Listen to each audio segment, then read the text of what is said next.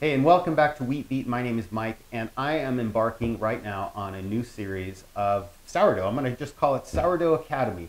We are going to talk about sourdough in depth. Now, I just came back from a fantastic course at the San Francisco Baking Institute. It's just another week I spent over there with a guy named Thomas Teffri-Chambelland, who wrote this book here on panettone and viennoiserie.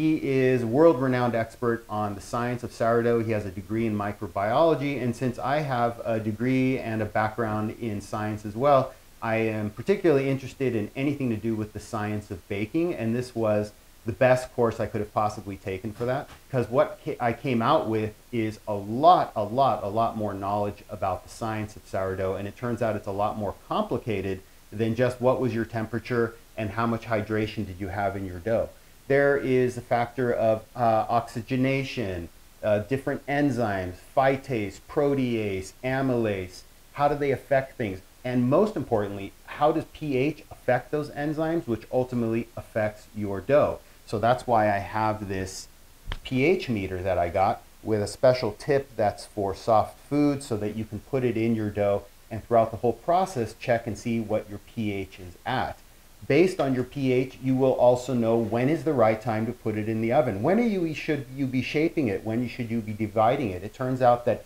if you uh, pick a certain point where your pH is at, you will get a more optimal uh, result. As an example, if I start at a higher pH, I'm going to get more amylase activity. Amylase is an enzyme that creates a simple sugar out of the starches in the, in the flour.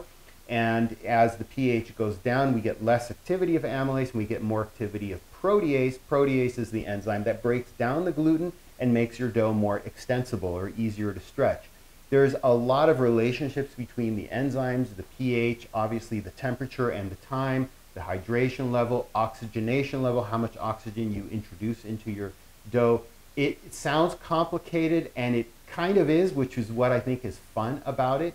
It takes things to the next level and I am super excited to embark on this journey together with you to see how we can apply some of this knowledge into real world baking and make meaningful changes to your breads. A lot of people ask me, hey, I did this sourdough, I, it turned out really okay, and then I did it again the following week, did exactly the same thing, and it came out completely different. What happened?